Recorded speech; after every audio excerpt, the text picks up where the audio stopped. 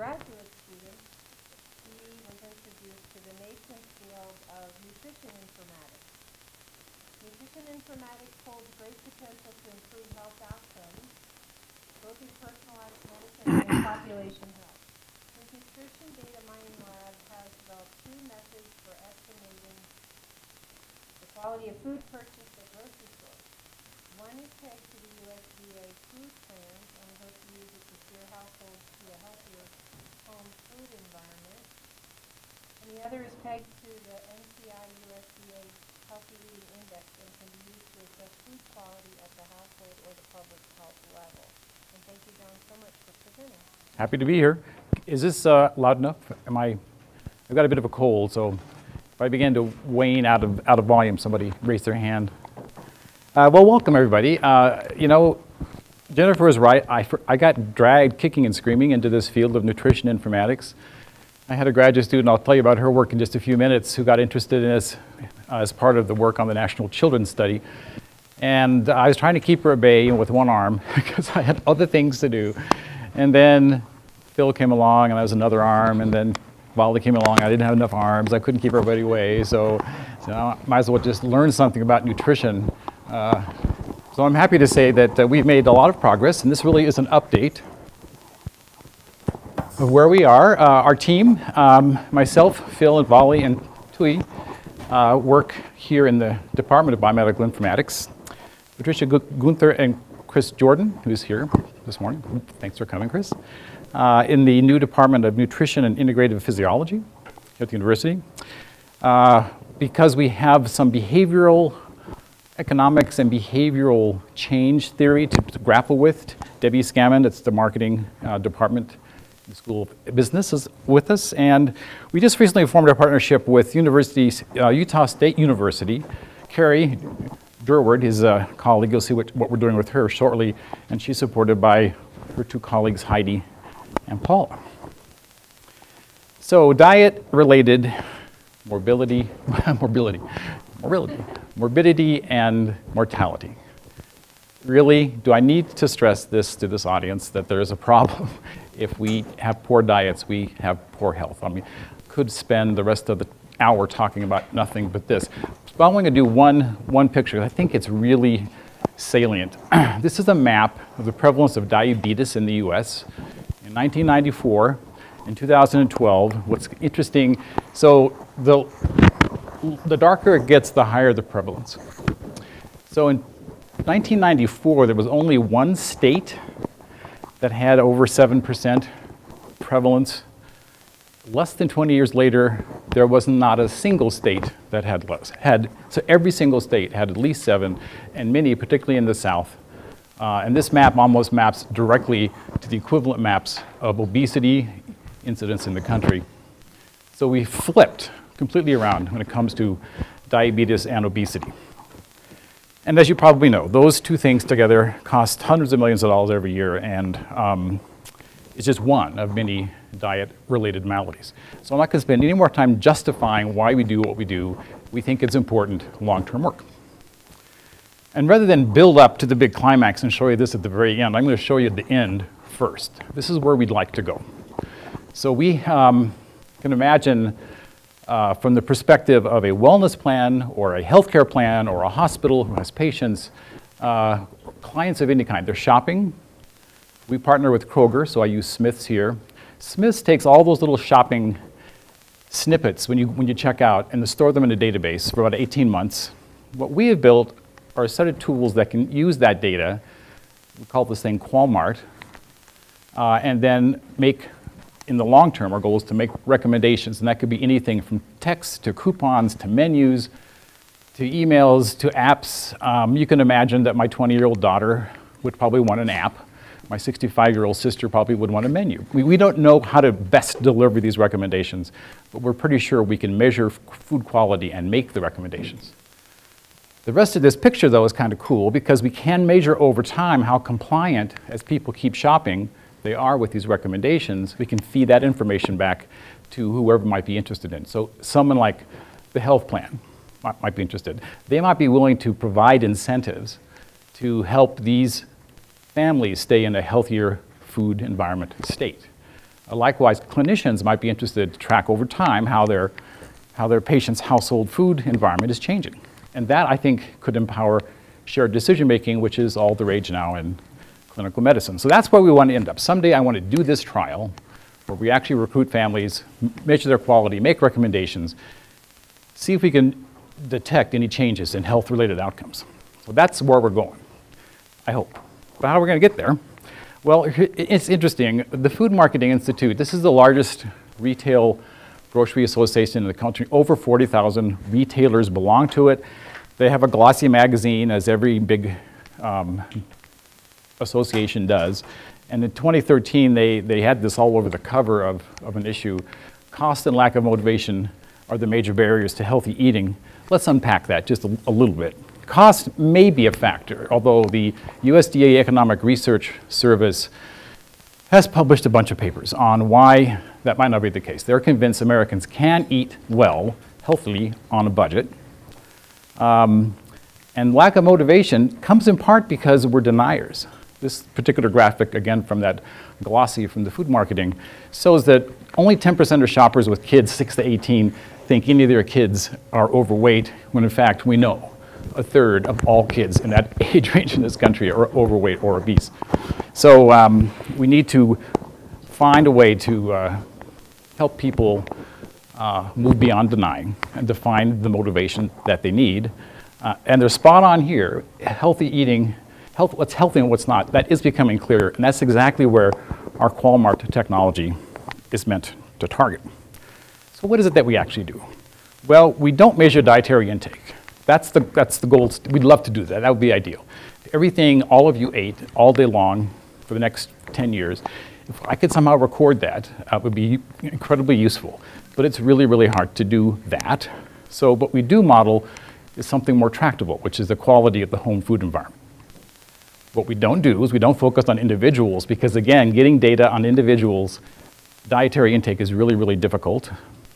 So we focus on households.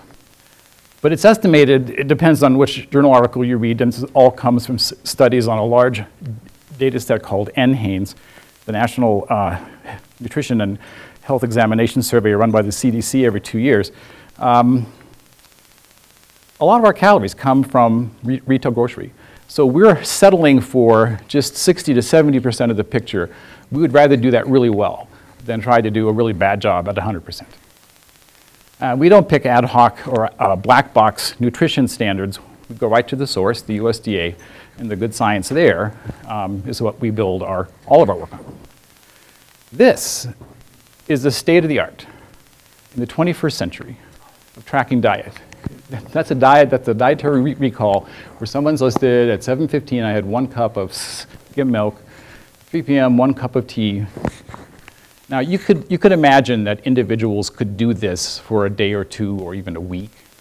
But we're interested in long-term study, so how are you going to do that? It's just, and then someone has to translate this into quantities of hundreds of grams, and then, and then they can calculate some kind of measure. Uh, so the second best thing is to have them do fill out what's called a food frequency questionnaire. This is an actual questionnaire. By the time we got to this page, we're on question 64. Over the past 12 months, here's my favorite, how often did you eat beef or steak on a sandwich? And there are 10 different choices down here. So uh, it's very cognitively demanding. it goes on. It keeps going on. I can't tell you what I ate last Friday for lunch, so let alone whether it was any beef in it. But this is what we ask people to fill out, so we can we can get we can get something information about their diet. Uh, I'd like to point out that, in my opinion, the, the science of nutrition very much is built on the art of approximation. So, in all these different tools, we're approximating some aspect of diet. Uh, why do you think things like this are, are not ideal? I mean, except for the fact it's really burdensome. If I'm going to ask Karen what she ate yesterday, do you think she would? would what, what's- what's wrong with that? What, how could there be a problem? She's a very smart lady. You could lie. you could forget about that Tootsie, Tootsie Roll you snuck in, uh, or you could just forget, right? And you might. Yeah, well, the quantities, they, they're here, yeah, yeah, so it's like one glass, one cup, one and a half teaspoons of white sugar. Maybe it was really one tablespoon of white sugar. I mean, they're, they're just inherently biased, right? Um, and everyone in the nutrition field acknowledges this. We're looking for, for better ways, and so we're coming at this from a different angle. But even the, um, and I have to say that the 24-hour recall is considered by almost everybody as the best we can do. Now, is- there's a better way to do it than this. The NCI, National Center, National Cancer Institute, rather, has developed something called the A- ASA 24. It, it sort of walks you through picking foods. It's kind of hard to see, but cereals and energy bars, breakfast bars. If you click on breakfast bars, you get a whole bunch of specific breakfast bars. And if that's the one you ate, you click there and it gets added over there. By the time you work through this whole thing, you've listed all the foods you had in the last 24 hours, and it can do the calculation. It knows how many grams that particular uh, breakfast bar weighed, and it'll figure out the, ca- the calories and whatnot and come up with something called the Healthy Eating Index, which I will talk more about in just a second. So it's online. Um, it's free for use by consumers or by researchers, and uh, we're doing something really exciting with this in one of the studies I'm going to talk about in just a few minutes. But the, uh, this, this is the best we can do, and it's electronic. At least it gets away from having to record all this stuff. So it's a movement in the right direction, and that was piloted by Amy Subar, who also, it turns out, is a world-class triathloner. I just learned that. So we do have a conceptual framework for our work. Um, this is a model of uh, healthy nutrition environments conceptual model. We're putting ourselves here, the consumer nutrition environment, uh, the organizational nutrition environment, home and work in particular, and in the community nutrition environment, um, working with stores. We don't deal with accessibility per se, but we do look at stores and uh, the role that, that they play in retail shopping. So just so you know, we do have a model. We're not making all this up. And I'd like to thank Phil Brewster for um, convincing us to ground our work in this particular conceptual space. So our very first attempt, as I said, this started back in the late 2000s. Uh, Chris Brinkerhoff um, got her PhD in 2012. She uh, convinced Smiths, uh, and she convinced Primary Children's Hospital to work with Smiths to encourage shoppers to sign up for a study. Um, and what the, what the families had to do was that they had to let Chris and her assistant into their house. They had to fill out a, one of those clanky food frequency questionnaires. Uh, they scanned with a barcode scanner everything that they could scan, every food, and then went through the fridge and did the same thing. Um, so she had this FFQ and a household inventory, and then all the shopping data, and she was just curious how well did the shopping data correlate with these two things, which again is, is pretty much standard approach for a lot of nutritional epidemiology. Well, she had to hand map a whole bunch of UPCs over to a particular USDA database. It turned out she probably picked the wrong one, but, but this was a good start. And she couldn't map but about 70% of them over. So she, but she could map 100% at the level of food groups. And that allowed her to produce charts like this. And for the longest time, we could not figure out how to analyze these data. We struggled and struggled and struggled. Chris did a great job. There's a number of, of graphs like this. This is, shows um, over the 50 weeks of shopping how well the, um, the, the, the what the correlation was between the sales data, just in terms of volume, and, the, and what was reported on the FFQ. And she's got a similar thing for the inventory. I mean, it's all over the map. I mean, there's some correlation across the year for fruits, but sugars and sweets actually go into a negative correlation down here. We, uh, we just don't, we just couldn't, we, we could never wrap our heads. We had several biostatisticians look at this. So it wasn't until um, Phil and Tui joined our team that we found new and better ways to analyze this. And I have to give credit to Ed Clark. He's the head of pediatrics here. He, uh, he used to be an NHANES interviewer. He'd sit down with families and walk them through those one and two day dietary recalls, and he just bugged the heck out of them. So when he started his version of the National Children's Center study here, he asked Chris if she could come up with a better way, and that's what got this whole thing started. So hats off to Ed for getting us to even think about this problem. So what are we going to do? We have this, you know, we have 50 houses worth of data, and we don't know how to analyze it. So being good informaticists, we decided we need to get more data. That can only help. So let me tell you something about our grocery model data set that we've been using in our work. Um, comes from about 144,000 households shopping at Kroger stores over a 15-month period in four regions that Kroger operates in. So in particular, Seattle and its regions, this big thing around Salt Lake City. Uh, this is the Smiths clan. Um, Kroger stores in Atlanta, and then in, in um, Richmond, Virginia, that wasn't our first choice. It turns out Kroger doesn't have any presence up here. So we wanted to get a big Northeast urban or uh, Mid-Eastern urban center. We just, they just didn't have it. So we, we settled for these four.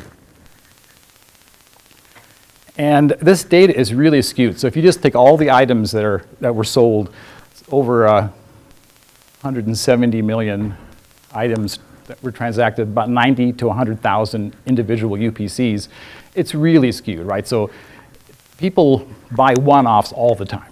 And most of, the, most of what happens, uh, what most of the shopping gets done is in the first couple thousand of the items in this large database of UPCs. It's just, just kind of interesting. Oh, I was going to ask you to figure this out, but I showed it too soon. So this is, these are the top 10 across the country. Bananas almost twice as large in volume as the next second one, which is avocados, which just surprises the heck out of me. That strawberries is number three, I find really interesting. There's nothing really terribly unhealthy in here. So as a nation, we're buying the right kinds of, right kinds of food. This, these are green peppers, corn yellow, uh, individual corn. But this gives you an idea of how difficult this data is. This is the only descriptor that we get from Kroger about what these items are. Can anybody guess what that is, except for Volley? No? No? It's 2% low-fat milk in a plastic bottle.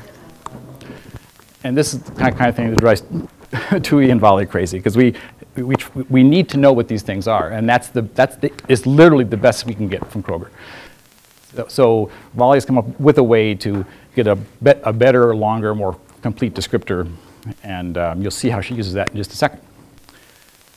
So what we did with that data was to come up with two models. So we start with all this grocery data we got from Kroger. We, we do a lot of mapping. I'm not going to spend any time really describing the mapping in detail, but just know that, that we were able to map uh, these food UPCs to some USDA databases that made sense. And if you're curious at the end, I'll go into it in more detail. But then once we have that mapping, we can we can see how many of these foods map into the 29 food categories of something called the USDA food plans. And one of the, one of the versions of the food plans is uh, built on expenditures. So the USDA says if you spend 5% of your grocery budget on bananas or whole fruit, that's, that's where you should be. Right, so we have the expenditure data. So Phil has built a model which can use the actual expenditures versus what people should be spending and figure out where the gaps are. What Tui did, she decided, decided to try to model the healthy eating index. It's like any sort of classic machine learning problem. She had all these, she knew, she started with, the, with NHANES data, which is this big national survey. She, she took four or five cycles of that data over 30,000, 20,000 individuals reporting. And from that, she built this really cool um, model estimator whose math to this day I do not understand. But Tui comes from us, to, from the computer science department, where she's, she, she builds uh, complex models uh, in, her, in her sleep. So she did a really good job. Things to remember, there are 29 different food categories. I'll show you some of those in just a second. In the food plans, there are four different food plans. One for people who spend a lot of money on food, a little bit of money on food, not so much money on food, and who are on essentially low income budget, the kind of people who would be using food stamps, the SNAP program, for example. And then our goal, of course, is to use that information plus the household preferences as expressed by their past shopping habits, and in future work, make recommendations to uh, improve quality and see if that actually has an effect on, on the health. So here's the uh, food plan in particular. So we, we do the same thing. So here's some example food plan categories. Uh, whole uh, grains, breads, grains, rice and pasta, fruits, citrus, melons, meats, pork, etc. So we can map UPCs into those and then Phil's tool can, can use the data in the food plans uh, and the expenditures from the sales data to figure out gaps in the food. This particular example, this person was eating way too much refined grain and not nearly enough whole grain. So, so you can you, you have you know where the gaps are, right? You know what they like to buy. Uh, so you- have a handle on how to get to nudge them in an informative way into better buying habits.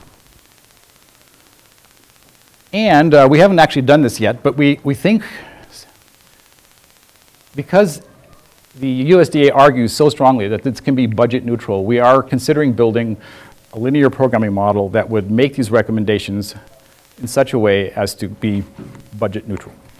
That's an experiment we have not done yet. And this was all the brainchild of Phil.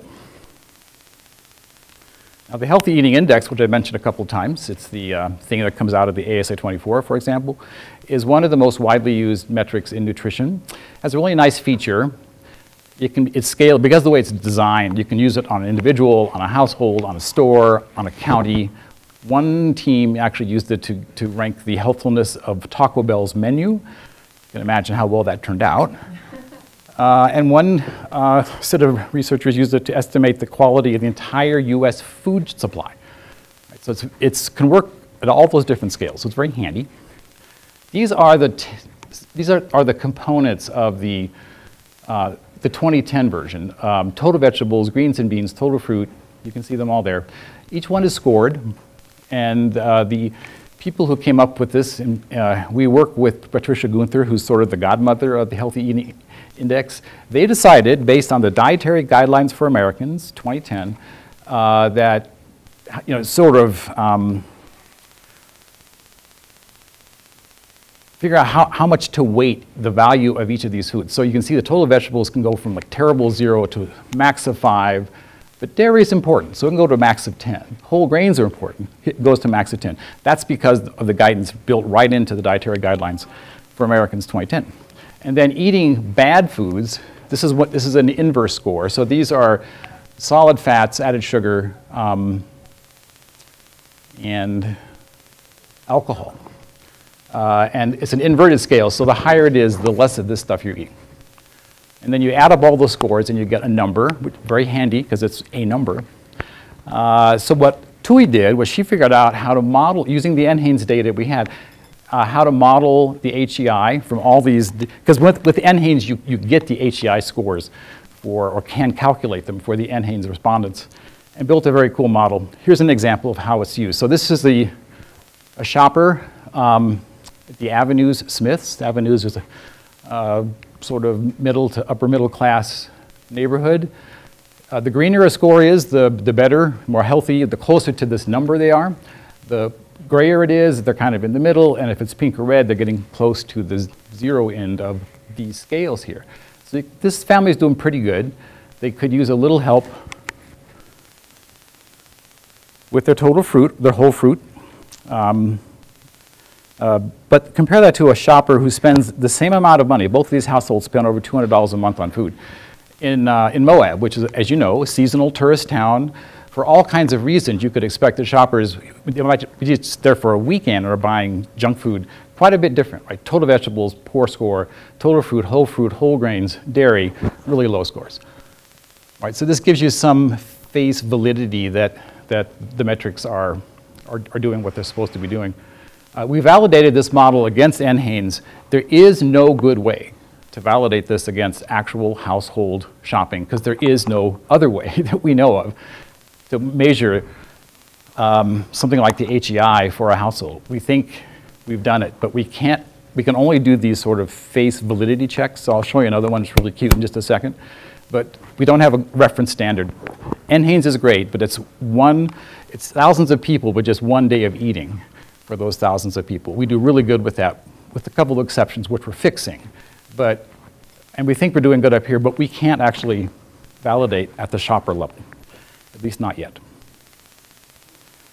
Credit goes to TUI for this excellent model. A little bit about our data. We have over 100,000 UPCs and those little PLU codes you see like on an apple or a banana. Uh, we have mapped them to various USDA databases. 90% of that mapping we could do automatically. That was a big win. There's 100,000 of these things, right? We did not want to hand map all those. But it turns out there's a really interesting correspondence between the way grocery stores organize food and the way USDA groups foods. And we exploited that sort of natural correspondence to do the automatic mapping. And then we had two nutritionists, Chris helped us with this, and Jennifer North, uh, then a graduate student in then the Division of Nutrition, help with the, with the last 10%. And from there, we can do the HEI model. Um, this gives you an idea of how that thing works. Don't you can ignore that. Uh, the food plan model, but we're not limited to these two things. We could do other, other kinds of metrics as well. DASH, uh, which is used to uh, keep an eye on sodium. The Mediterranean diet is something we'd like to focus on. Uh, we know that the new dietary guidelines that are due out this, this year are going to put a strong emphasis on added sugars, so we're taking a look now at how we can get a better fix on added sugars. Uh, so that's our data in a nutshell. So what are the pros of this approach? Well, there's a lot of pros. We operate, we can look at everything in the market basket. How many people here use MyFitnessPal or have used it? How many have used it and stopped using it because it's such, such a pain? My wife, my wife uses it. She tries to track her food. It's really tedious, right? Um, and it's likely, it, it, does get all the food she eats, which is good. But uh, there's a whole bunch of metrics out there. I can show you some others at the end if you're interested. We're one of the very few approaches that tries to look at everything that's in the shopping cart. Uh, we can uh, adapt it. We've already adapted it to two different models. We hope to adapt it to more. And we, we, since we have the historical data, retrospective and prospective, we can measure over any time span, which is handy. It's not a single shot. Uh, and it's painless for patients and other customers. All they have to do is shop, which is something they have to do anyway, right? We don't ask, we don't put any burden at all on the shopper. It's unbiased by recall. Now, usually at this point, someone says, but I don't do all my shopping at Smith's, I also shop at Whole Foods. Absolutely true. So my goal is to get as many grocery retailers on board as we can. I think it's, it's a bootstrap, right? If we can show we're doing good work with Kroger and get some kind of partnership going with the health plan, say, or the hospital or um, wellness program, then I think interest will grow and we will be able to recruit more and more retailers. But wherever they shop, I mean, uh, once we get all the retailers, then they can't hide. They cannot hide from us. We will get, we will get their foods. Uh, and it has the advantage of being able to look backwards as well as forwards. And it's cheap because stores collect these things for their own purposes, for marketing, for inventory. And it's scalable, we think, because virtually all stores collect these data. So it's just as easy for us to run, and you'll see some examples where we run the HEI model on entire stores. Uh, it's just a matter of you know a few minutes more compute time. Uh, so it's, so it's, it is truly scalable. But it's not perfect. Uh, we only see grocery data, mentioned that before. But still, 60, 70% calories come from retail grocery. It's estimated, so that's a big chunk. We only have the one partner, it is Kroger. They are the largest grocery chain in the country. Walmart does sell more food, but they sell more of everything. Uh, and unfortunately, they don't have a card. We need that loyalty card at Kroger's to link shopping episodes to the, to the shopping data. So uh, that's uh, another con. Uh, and we know now, you know, we're getting pretty, pretty, good at figuring out what to recommend. You saw that, that, that, those, that bar graph with the gaps in it, right?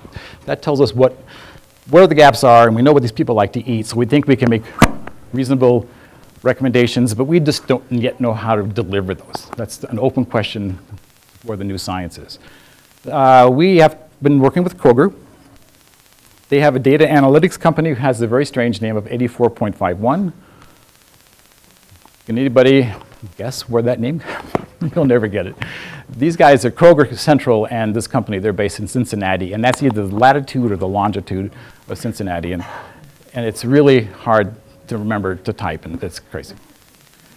Uh, we have we've talked with uh, Robin Marcus and Dr. Day about doing something with you know, beefing up what they're doing with the wellness program quality experiment they're doing with associated foods.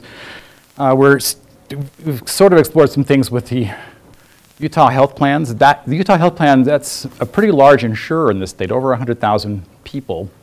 They take care of all the Medicaid patients in the state and that's capitated money, right? So they want to keep those pre-diabetics in that class of people from getting to be a diabetic. And so we're trying to see if we can organize a study that would do exactly that by looking at their shopping patterns and nudging them again into a healthier uh, food uh, environment, not unlike the current ongoing diabetes prevention program that's being run by Julie Mitos and Tim Graham.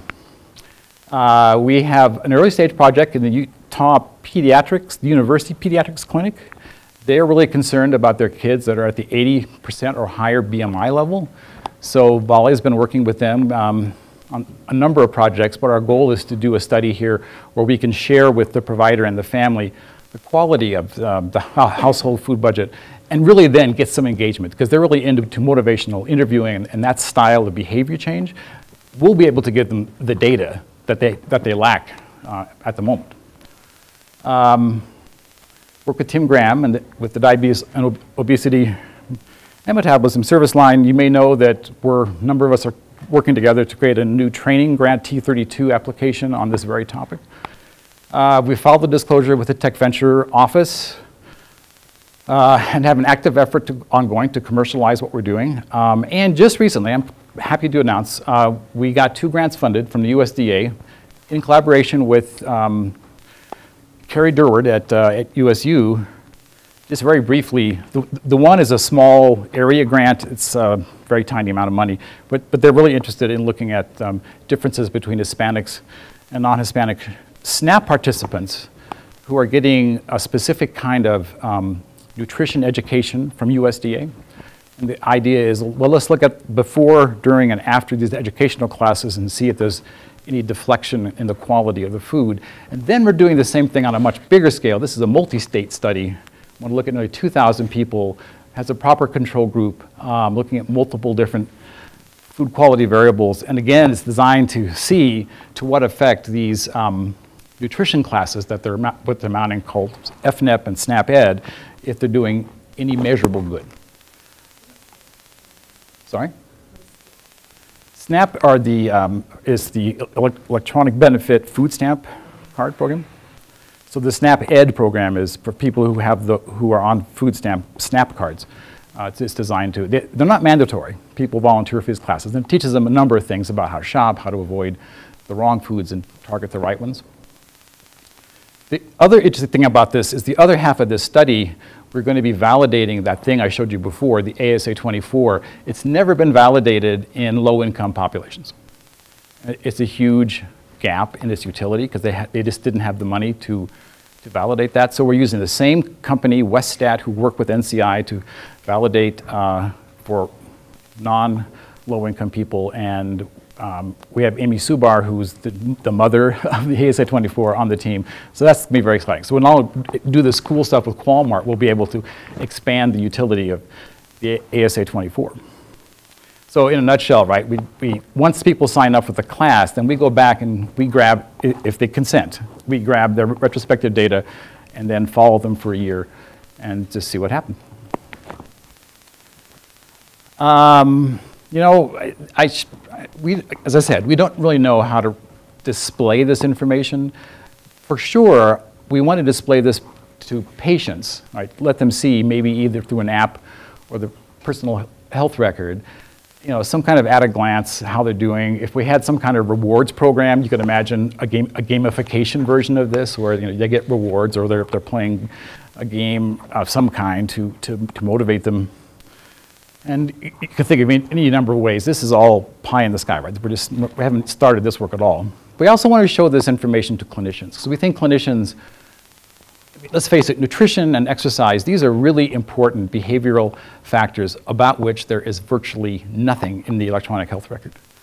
So if you're diabetic, you have a hemoglobin A1C in that electronic health record, but if you're overweight, you have no insight into the nutritional profile at your household. So we want to make that content, exp expose that to clinicians.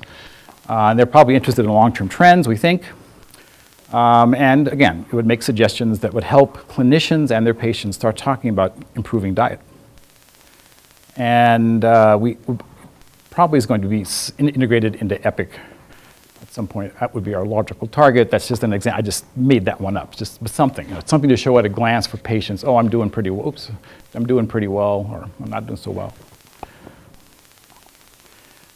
Now, I promised I'd say something about the public health side of this. So we see it of use for clinicians, utility for health plans and doctors' offices and whatnot. Uh, but it's also a public health because we can measure at scale. Um, so here's some interesting things that we, we- we've done with this data. Here's a map of the Salt Lake Valley, several stores. It's a little it's faded in this slide, looks much better on my screen. But the larger circle is, the more households shop there. And the greener it is, the better their HEI score. We didn't use the entire HEI in this particular study. Uh, along the Wasatch front, pretty good. But then as you head south and west, the scores get less good, right? They get poorer. And the, oops. I don't know if anybody, anybody noticed that little red dot there. What do you think that is? It's a Smith store. I'll give you a clue. There's the Avenue Smith. It is the gas station. You know, again, you would not expect the gas station convenience store to be pushing a lot of bananas, avocados, and strawberries out the door. So again, it's again sort of a face va- va- validity, but it shows you how this HEI thing can actually work at different scales. Yeah. That actually might show that uh, the forty percent that you don't get is in the awful, I mean, the, the much less healthy than what you have. Yeah.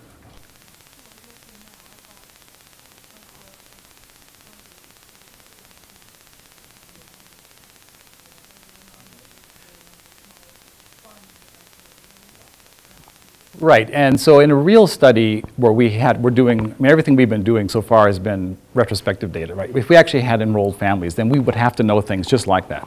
Um, like, how often do you shop at a farmer's market? Because that's, that's important.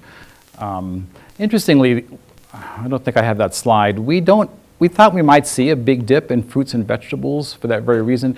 Across the whole population of data that we had, we did not see a dip like that. But we didn't look at, like the people at Smith's, again, I, I shop at this Smith's and I shop at the food market downtown. And so, so um, farmer's market rather. So uh, it'd be interesting to see if that, that store in particular, if we, if we can see that dip. That's future work. I just assume the exact same thing, I'd be more concerned about all the licorice and donut shops, the dirty soda shops, all the places outside of the grocery store, I think would be much more significant than any place, place like farmers markets, right, than ones that are outside that. True. But I bet, I, and I, I tend to think that you healthier in grocery store. that's what I bet.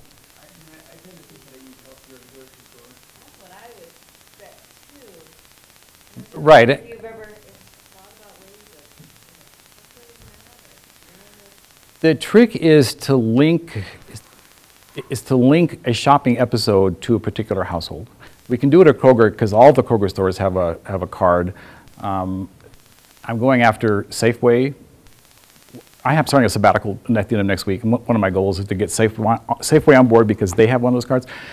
The um, people on SNAP, we, for example, I, I think it's a very important population. We could tell that they shopped at a convenience store and how much they spent, but, we, but they don't keep track of what's actually purchased.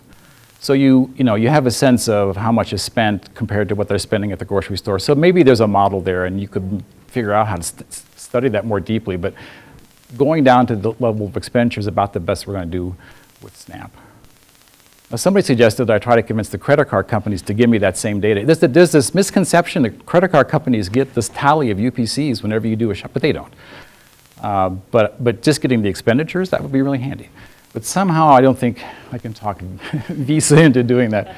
So let's just take another look at this map, and then I'm going to project up a census tract level of uh, people at 1.5% or below poverty. Very similar, like along the Wasatch Front, by and large. So if it's darker, it's poorer.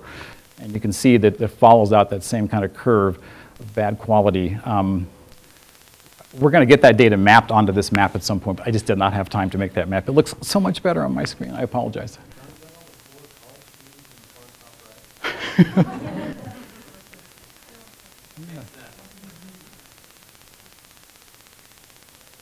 A great question, Jason. it must be. Uh, those impoverished graduate medical students. Uh, and credit here goes to TUI for, for we used our estimator. And here's something kind of it's kind of fun. It's kind of intercity thing. So we here's just one food component, the uh, the dairy score. for Salt Lake City, we, we blew it out a little bit to get stores that went further north and further south. We did pretty good, right? There's a red store there. It- That's not the convenience store because it's too big, right? Because the size of the, the dot is how many households shop there. But it's pretty good. Now you compare that to Seattle. Seattle has a lot more stores, and again, it's a little washed out up here, but um, all these pink and gray stores, there's a few more of them than here. And then Atlanta, got this huge cluster. Now, I don't know anything about the, the, the demography of Atlanta. Maybe someone does, but Lexus and Color, or, right, if that's Lexus and Color.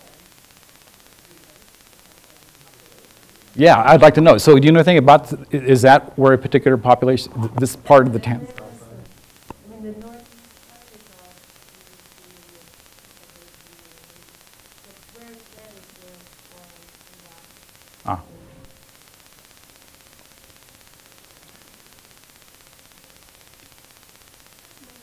Yes, ma'am.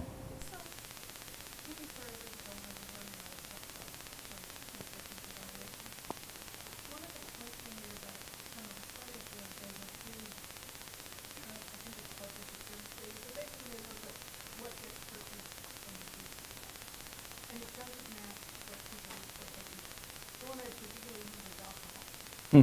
And the speculation is that A, people underreport because they're probably not throwing alcohol. right. No waste there. But, but they do waste a lot of other things. My daughter complains that she's not at home, and she's buying her own fruits and vegetables, she buys too much and she, they go bad. Um, if I bought, if I bought milk, it would go bad. Um, I got, I got it from house to free, it doesn't matter, but then we do wind up throwing things out. Any way to account for this? Again, not, not with the data that, that we have, obviously, but uh, this comes up frequently when I give a talk like this. Well, what about waste? Because that, that, that is important. Um, I think if we had a proper R01 style thing where we could actually go into households and, and figure that kind of stuff, I mean, that would be a messy job. Jason and I would need a graduate student to go in there and open the trash can up and see, see how much that was wasted. But um, Yeah, and I was, I thought about that too with bananas, especially with, with that old. You know, I tried to find a recent study on household waste. Does anybody know of a study? I see some nutrition people here. At, uh, in, in the, I found some really good studies in the UK. And it varies a lot by category. Ah. So obviously, fruits and vegetables, fresh fruits and vegetables, are way too much than cereal. Or soda pop. Fair enough. Now, Phil Brewster did an interesting study. It's, it's well known in the literature that people who smoke um, have a poor diet. There's a correlation there. So Phil was interested to see if he could find it. So using his food plan-based model, he selected 4,000 households at random from the four regions that- we uh, were looking at and uh, asked like the simplest possible question. Has that household in 15 months ever purchased a tobacco product or never purchased a tobacco, tobacco product? It Turns out that that ratio of about 3,000 to about 12,000, 13,000 is about 20%. It's about the number that the CDC estimates smokers around. So that's, that's kind of nice to, to, know. But what he found was in every category except for total proteins, there was a significant increase of food quality in the households that, in these different categories, that didn't um, have any tobacco as opposed to those that had tobacco even just one time. And there's like a four or five point difference. Easier to see that on a graphic. So this, this is the, has ever purchased tobacco shifted to the left in terms of quality, and never purchased tobacco shifted to the right in terms of quality.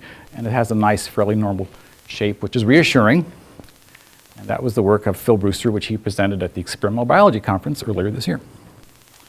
So what are we going to do next? Well, we need to, we need to keep improving our models for sure. We need to find new metrics. Um, metrics that would be of interest to things like clinicians, food plans, wellness programs. Those are our targets. Uh, you need to add more grocers for sure. And that means finding ways to efficiently add new UPCs. So we have 100,000 UPCs, but there are over a million UPCs. Wally, do you know how many unique food UPCs there are? In our data set, but, but in, in the whole world.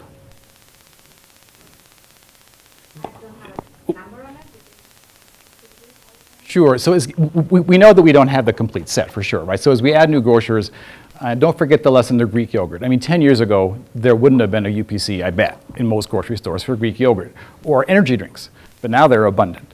So um, we know we, that's an infrastructure problem we have to fix, and that's one of Volley's, one of Volley's dissertational aims. And uh, we have to brainstorm with partners like uh, health plans, like wellness programs, like clinicians, to find out, okay, if I can show you this data, how would you like to see it? When would you like to see it? I would like to do some brainstorming, something I hope to do during my sabbatical to figure out how best to deliver this information. Uh, and then, um, again, to get back to the, a lot of people, oops, I misspelled epidemiologist. A lot of people um, are in the mapping of UPC business, particularly nutritional epidemiologists. So Volley and TUI built a tool which lets you type in a UPC. The idea is we, we need to know in this large database of about 8,000 foods that the USDA collects, called the FNDDS, uh, what's the closest match to a Progresso? This is another naming problem, right? That's Progresso low sodium beef vegetable soup. So if you type in the barcode, this comes up. We get this information from another web source, and then the tool tries to rank the nearest things already in the data. We can't add things to this database, so the, the goal is to pick the one that's the closest for, to complete that mapping. And so it shows you the contenders with some macronutrients. Volley has come up with a whole array of other things to help the, the mapper. Um, here's an example of one. So here's the Progresso, and here's a breakdown of uh, the total fat, total carb, total protein of the nearest neighbors. And the idea is that maybe with this kind of metric or others that she's come up with, then the mapper could say, yeah, I'm pretty sure that's the closest one. We're going to call that, we're going to map that to the code for that guy. So behind the scenes, there's a lot of in- infrastructure building going on too. Oops. And that's it. Any other questions? Sir? You mentioned the My Fitness Pal, and I'm sure there's probably other apps out there like that. I don't know, did you try to get data from them? It seems like, you know, I see some people, they're like, you know, every time they eat something, they're like logging what they eat, you know, if you could find that group of consumers that was, was hyper, hyper entry, hyper Right. disorder, whatever. Always. Whatever pathology it takes to do that all day. Yeah, so then you could get, you know, it's better than a twenty-four hour recall, better than, you know, their total household grocery purchases. You know, did you look into trying to get? Well, I would argue it probably isn't necessarily better than a 24-hour recall because it is um, time-consuming and you've got to remember, you- you're being forced to recall the same kind of thing. With Are you the, doing it right then rather than? Oh, I see, it's all like the kind of person who walks around, as soon as they leave McDonald's, they, they Big it in- Mac, yeah. Yeah. Do that, you know, as a little consumer.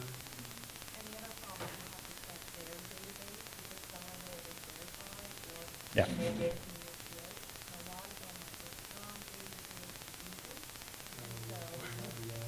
Yeah, I actually saw a poster where they were comparing uh, entries from Trader Joe's, uh, and there were like four different products under the same UPC, and it's just, that data, that self-contributed data is pretty dirty.